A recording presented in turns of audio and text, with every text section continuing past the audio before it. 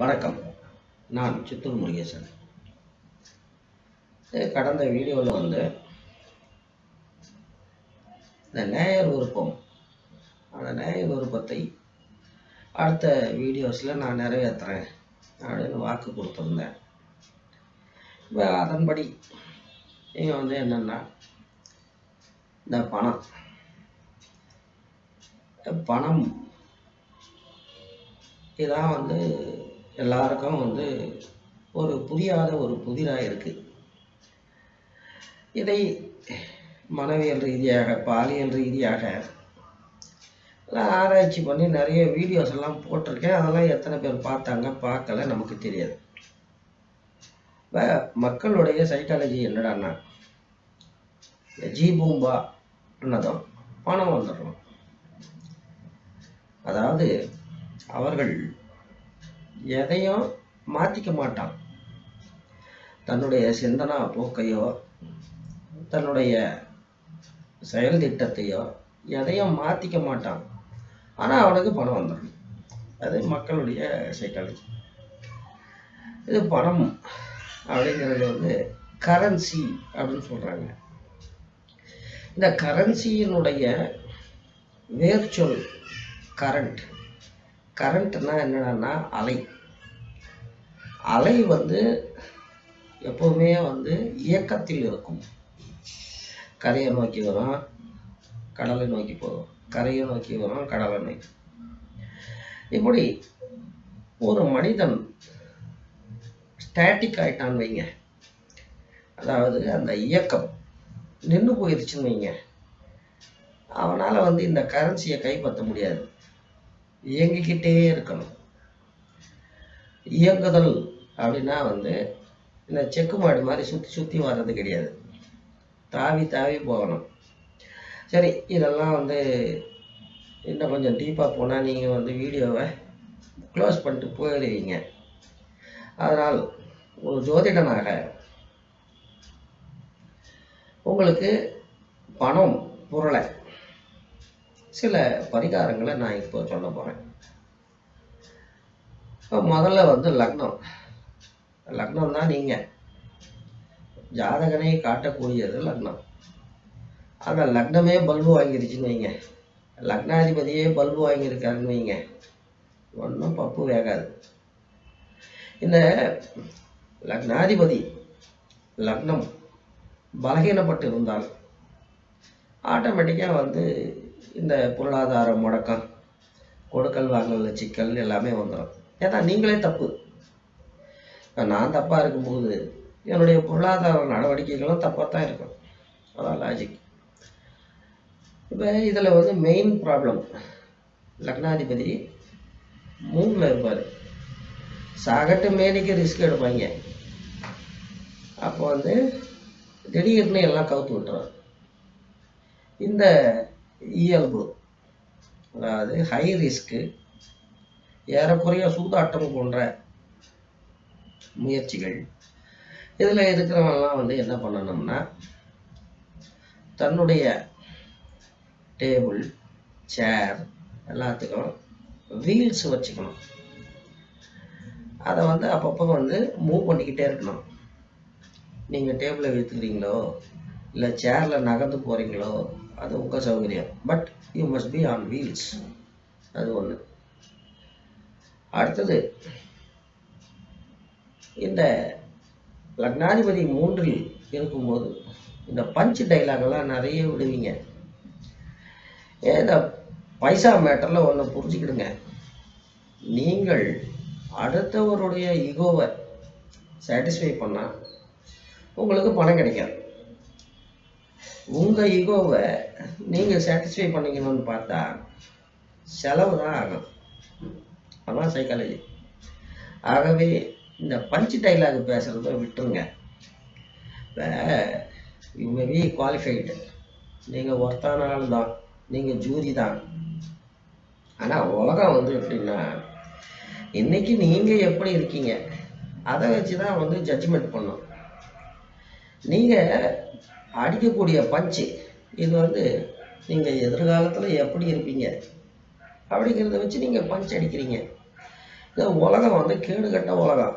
இந்த உலகத்துக்கு வந்து நிகழ்காலம் தான் தேவை. இந்த உண்மையை புரிஞ்சுக்கிட்டு இந்த பஞ்சு டைலாக் அடிக்கிறத விட்டுருங்க. இது ஒன்று அடுத்தது சில பேர் இருப்பான். அவன் வந்து எப்படின்னா பத்து மணிக்கு ஆஃபீஸில் இருக்கணும்னு நீங்கள் இவர் வந்து ஒன்பதே முக்கால் வரைக்கும் நேஷ்னல் ட்ரெஸ்லேயே இருப்பார். அதாவது ஷார்ட்ஸோ லுக்கியோ டிவியை பார்த்துக்கிட்டு குழந்தைகளை கொஞ்சிக்கிட்டே இருப்பார். அதாவது வீட்டை விட்டு போகணும்னா இவங்களுக்கு மனசு வராது. இது இது உங்கள் கேரக்டராக இருந்தால் நீங்கள் என்ன பண்ணணும்னா உங்களுடைய ஆஃபீஸ் டேபிள் மேலே உங்கள் அம்மாவுடைய ஃபோட்டோ ஒன்று வச்சுக்கோங்க. அதே போல் உங்கள் வாகனம் உங்கள் வாகனத்தை உபயோகிக்காதீங்க. குறைஞ்சபட்சம் வாரத்தில் ஒரு நாள் ஆகும் அப்படி நீங்கள் ஃபாலோ பண்ணி பார்த்தீங்கன்னா சரியான நேரத்துக்கு ஆஃபீஸ் போகிறதோ ஃபீல்டில் இருக்கிறதோ நடக்கும். அடுத்து கேரக்டர் என்னடான்னா இவங்களுக்கு வந்து லக்னாதிபதி அஞ்சில் இருப்பார். லக்னாதிபதி அஞ்சில் இருக்கிறவங்க வந்து எப்படின்னா இந்த பெயர் புகழ். இது மேலேயே இருக்கும் இவங்களுடைய கான்சன்ட்ரேஷன் எல்லாம். இல்லைன்னா குழந்தைகள். இப்போ என்னுடைய வருமானம் எவ்வளவோ அந்த வருமானத்துக்கு தக்கபடி தான் குழந்தைகளை வளர்க்கணும். ஆனால் இன்னைக்கு ஒரு புது ட்ரெண்டு வந்திருக்கு. அதாவது அந்த காலத்தில் பத்து பன்னெண்டு தத்தானுங்க இந்த காலத்தில் ஒன்றே ஒன்று கண்ணே கண்ணு கலெக்டர் மகன் எந்த ஸ்கூலில் படிக்கிறானா? அதே ஸ்கூலில் படிக்கணும் தன்னுடைய மகனும் அப்படின்னு கலெக்டர் தபேதார் நினைக்கிறார். அங்கே சிக்கல் வந்துடுது இது வசதி வாய்ப்புகள் இருந்தால் படிக்கலாம். அது வேற கதை. இல்லாதப்ப ஆற்றுல போட்டாலும் அளந்து போடணும் அதனால் குழந்தைகள் விஷயத்த வீட்டம்மா கிட்ட விட்டுருங்க. நீங்கள் அவங்கள பற்றி கவலைப்படாதீங்க. கையை பிடிச்சி வீட்டம்மா கிட்ட ஒப்படைச்சிருங்க. ஃபஸ்ட்டு பரிகாரம் இதான். அதுக்கு அடுத்த பரிகாரம். இந்த பெயர் புகழ். பெயர் புகழ்னா வந்து பேப்பரில் பேர் வர்றது டிவியில் வர்றதே கிடையாது. முகஸ்துதி. எதற்கு இருக்கிறவன்? சுவாமி உங்கள் முகம் எவ்வளோ கலையாக இருக்குது சுவாமின்னா போதும் உடனே வந்து சொறி வந்துடும் அது தவறு. இப்போ வந்து இந்த பெயரும் புகழும் எவ்வளோ ஆபத்தான மேட்டர்னா அதாவது இயற்கையாக கிடைக்கும் புகழ். இது எம்ஜிஆர் மேட்டரில் பார்க்கலாம். புள்ளக்குட்டி இல்லாமல் போயிடுச்சு அவருடைய அறிவே வளராமல் போயிடுச்சு இதான் மேட்ரு. இதே பாருங்கள் கலைஞரை பாருங்கள் அவருக்கு எந்த அளவுக்கு விமர்சனங்கள் இருக்கோ எந்த அளவுக்கு அவப்பெயர் இருக்கோ அந்த அளவுக்கு அவங்க பசங்க பெட்டராக இருக்காங்க. அதனால் இந்த பெயர் புகழ் எல்லாம் உங்கள் உங்களுக்கும் நல்லதில்லை. உங்கள் வாரிசுகளுக்கும் நல்லதில்லை. அதனால் இது எல்லாத்துக்கும் போய் முன்ன நிற்கிறது கைட் பண்ணுறது இது கோஆர்டினேட் பண்ணுறது இந்த வெங்காயத்தெல்லாம் விட்டு தொலைங்க. ஆட்டோமேட்டிக்காக உங்கள் ஃபைனான்சியல் பொசிஷனு பெட்டர் ஆகும். அடுத்தது சில பேருக்கு வந்து லக்னாதிபதியாக ஆறில் இருப்பார். இவங்க வந்து எந்த ஒரு நல்ல காரியம் ஆரம்பித்தாலும் அதை வந்து கடன் வாங்கின காசில் ஆரம்பிக்கணும். ஒன்று அடுத்தது ஏதாவது ஒரு ஃபேக் ஐடியாவது வச்சுக்கிட்டு இந்த சோஷியல் நெட்வொர்க்கிங் சைட்ஸில் இந்த அரசுகளின் அழிச்சாட்டியங்களை விமர்சிக்கலாம். அதுக்குன்னு எல்லாம் மீறி போயிடாதீங்க. போலீஸ் வந்து கவு தட்டம். அது ஒரு பாயிண்ட்டு அதே போல் இந்த விவாத நிகழ்ச்சிகள் இந்த டிவியில் வந்து வரும். விவாத மேடை வெங்காய மேடைன்னு. ஒரு பரிகாரம் போல் இது இல்லாத குறைக்கு. அதை ஒரு நாளைக்கு ஒரு அரை மணி நேரமாவது பாருங்கள் அந்த தோஷம் குறையும். இன்னொரு கேட்டகரி இருக்குது லக்னாதிபதி ஏழில் இருப்பார். இவங்க வந்து பொஞ்சாதி முந்தானியை பிடிச்சி சுற்றிக்கிட்டே வருவாங்க. இப்போ வந்து ஆண் உலகம் வேறு பெண் உலகம் வேறு. நீங்கள் வந்து பொஞ்சாதி முந்தானை பிடிச்சி சுற்றிக்கிட்டு வந்தீங்கன்னா ஆண்கள் உலகத்திலிருந்து கொஞ்சம் கொஞ்சமாக நீங்கள் வந்து தள்ளி வைக்கப்படுவீர்கள். இந்த நாட்டாமை தீர்ப்பு மாதிரி தள்ளி வச்சுக்குவாங்க அண்ணன் தண்ணி கூட புழங்க மாட்டாங்க இயேசு சொன்னது தான் ராயனுக்கு உரியதை ராயனுக்கு கொடுங்கள். என் பிதாவுக்கு உரியதை பிதாவுக்கு கொடுங்கள். பொஞ்சாதிக்கு கொடுக்க வேண்டிய பாசம் நேசம் கிளுகிழுப்பு இதெல்லாம் கொடுங்க வேணாங்களே. ஆனால் அதுக்கும் ஒரு அளவு இருக்குது எல்லாத்துக்கும் ஒரு நேரம் இருக்குது இப்போ பைபிளில் வரும். விதைப்பதற்கு ஒரு நேரம் உண்டு அறுப்பதற்கு ஒரு நேரம் உண்டு. அப்படி நீங்கள் பிளான் பண்ணிக்கிட்டு உங்கள் அஃபிஷியல் ஹவர்ஸ் அதில் வந்து பொஞ்சாதி மேட்ரை வந்து மூளையிலேருந்து தனியாக கழட்டி வச்சுருங்க. அதுக்காக பொஞ்சாதி பாத்ரூமில் ஷாக் அடித்து வீழ்ந்து கிடக்குன்னு பக்கத்து வீட்டம்மா ஃபோன் பண்ணாலும் அட்டன் பண்ணாமல் விட்டுற போகிறீங்க அப்புறம் அது விவாகரத்து வரைக்கும் போயிடும் நான் சொல்கிறது அடக்கி வாசிக்கிறது. அதே போல் எங்கே போனாலும் பின்பளவு இல்லாத போக மாட்டான். பின்பழுவுனா என்னடான்னா இதுக்கு முன்னே வந்து கை வண்டி இருக்கான். கை இழுத்துட்டு போகும்போது பாரம்லாம் முன்னே இருக்கும். இது வந்து அதுக்காக வந்து பின்னால் வந்து ஒரு கல்லை தூக்கி வைப்பாங்க. அப்போ தான் அது பேலன்ஸ் ஆகும். அதுதான் பின்பழுவுன்னு சொல்கிறது அப்படி எங்கே போனாலும் கக்கூசுக்கு போனால் கூட கூட ஒரு துணை இருக்கணும். அது இவங்க கேரக்டர் அதை அவாய்ட் பண்ணுங்க. ஏன்னா கூட வரவனுக்கு நீங்கள் செலவழிக்க வேண்டி வரும். அது பாயிண்ட்டு அடுத்தது சிலருக்கு லக்னாதிபதியே எட்டில் இருப்பான். இவங்கெல்லாம் வந்து என்னடான்னா பஸ் ஆகிட்ட லாரி டியூப் மாதிரி. இவங்களுக்கு காத்தடிக்கிறதுக்கு யாராலையும் முடியாது.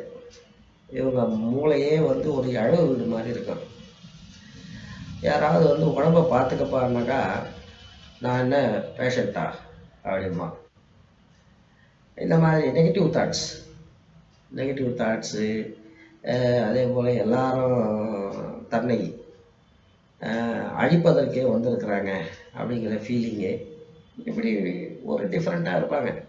இவங்களுக்கு வந்து பரிகாரம் என்னடான்னா நட்பு உறவு வட்டங்களில் மரணம் நிகழ்ந்தால் போய் அட்டன் பண்ணுங்கள் நேரம் இருந்தால் ஃப்ரீ டைம் இருந்தால் கடைசி வரைக்கும் இருந்துட்டு வாங்க. அந்த தோஷம் குறைய அதே போல் உடம்புக்கு உழைப்பை கொடுங்க. பாடியை வந்து ஸ்ட்ரெயின் பண்ணுங்க. அது நல்லது. சிலருக்கு வந்து ஒம்போதில் இருப்பார் லக்னாதிபதி. இவங்க வந்து என்னடான்னா அது என்ன? உண்ணாத துண்ணாத சேர்த்து வச்சாம்பாங்க பாருங்க அந்த கேரக்டருக்கெல்லாம். சேமிப்பு எவ்வளோ முக்கியமோ அதே போல் அன்றாட வாழ்க்கையும் முக்கியம். இது ரெண்டையும் பேலன்ஸ் பண்ணணும். இருக்கிற பணத்தெல்லாம் கொண்டுட்டு போய் ஏதோ ஒரு இடத்துல லாக் பண்ணிக்கிட்டுறது அது சோகத்து கடிச்சு சுண்ணாம்பு மாதிரி ஆயிரும். அப்புறம் பிரிச்சு பிளேடை வச்சு சுரண்டிக்கிட்டு கிடக்கணும். இவங்க வந்து கொஞ்சம் அந்த ஆட்டிடியூடை மாற்றிக்கிட்டா போதும். இதான் லக்னாதிபதி பத்தில் இருக்கும் சிலருக்கு. அவங்களுக்கு ஒன்றும் பரிகாரம்லாம் தேவையில்லை பைசா மேட்டரில். அதே நேரத்தில் வந்து குடும்பத்துக்கும் ஒரு நேரத்தை அலாட் பண்ணுங்க.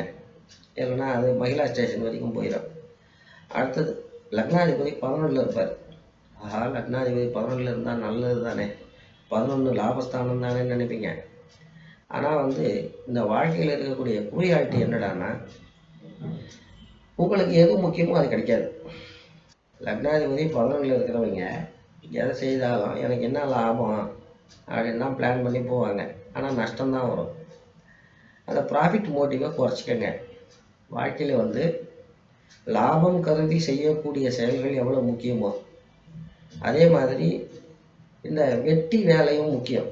இப்போ நான் வீடியோ போடுற மாதிரி. இப்போ இந்த பதினஞ்சு நிமிஷத்தில் ஒரு ஜாதகத்துக்கு ஒரு ஃபைலை முடிச்சேன்னு வைங்க. தௌசண்ட் பை த்ரீ சம்பாதிச்ச மாதிரி. ஆனால் வெட்டியாக வீடியோ போட்டுக்கிட்டு இருக்கேன். இது வந்து என்னென்னா இதுவும் தேவை தான் என்ன? இதுவும் தேவை தான் அதை புரிஞ்சுக்கிடுங்க. லாபம் கருதியே எல்லா காரியத்தையும் செய்யணும்னு நினச்சா அசலான மேட்டர் பல்பு கொடுத்துரும் அடுத்தது லக்னாதிபதி விரயம். லக்னாதிபதி விரயத்தில் இருக்காரு வைங்க பத்து ரூபா அக்கௌண்ட்டுக்கு வர்றதுக்குள்ளது ஒரு ஆயிரம் ரூபாய்க்கு லிஸ்ட்டை போட்டு வச்சுருப்பாங்க செலவழிக்கிறதுக்கு இது ஒரு தவறான ஆட்டிடியூடு இவங்க வந்து என்ன பண்ணலாம்னா லக்னாதிபதியும் விரயத்தில் இருக்கிறதுனால விரயம் என்பது நீங்கள் சயனிக்கும் இடம். இது முக்கியமான சிந்தனைகள் ஸ்கெட்சு போடுறது பிளான் பண்ணுறது இதெல்லாம் வந்து படுக்கையிலேயே உட்காந்து செய்யுங்க. வந்து பெரியவங்க தரித்திரம்பாங்க. என்ன பண்ணுறது உங்களுக்கு லக்னாதிபதியே விரயத்தில் இருக்காரு. ஒன்று சாப்பிட்டுக்கிட்டு இருக்கும்போது பிளான் பண்ணுங்கள் இல்லை தூங்குறதுக்கு முந்தி இல்லை தூங்கி எந்திரிச்சதும் பிளான் பண்ணுங்கள் ஓரளவுக்கு ஒர்க் அவுட் ஆகும். நன்றி வணக்கம். சித்தூரிலிருந்து முருகேசன்.